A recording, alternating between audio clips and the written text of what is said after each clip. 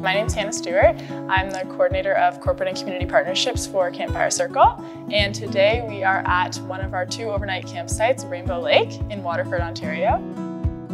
For 40 years, Campfire Circle, formerly Camp Ooch and Camp Trillium, has been providing healing through happiness to kids affected by childhood cancer or serious illness in Ontario. We provide over 22,000 experiences to our campers through our in-hospital, community, and overnight camp programs.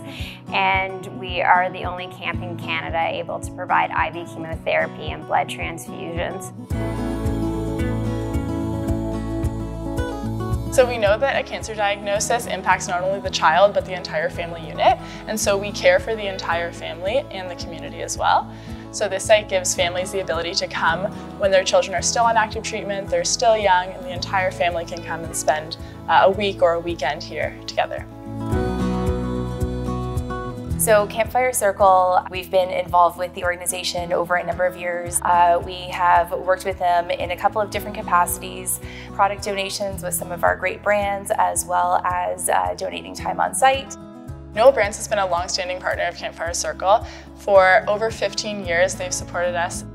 We are able to provide all of our programs to campers completely free, so we couldn't do any of the programs we do without the long-standing support of uh, partners like Newell.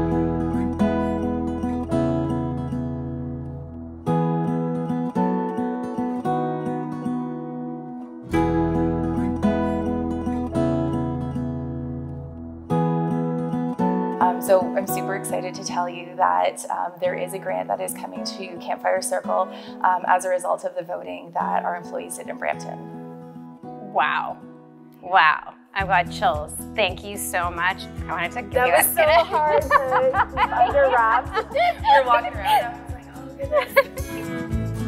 Thank you to everyone at our our Brampton friends for that incredibly generous support. And we look forward to uh, thanking you guys in person and having the opportunity for you to come and, and help us with camp. So thankful. Thank you.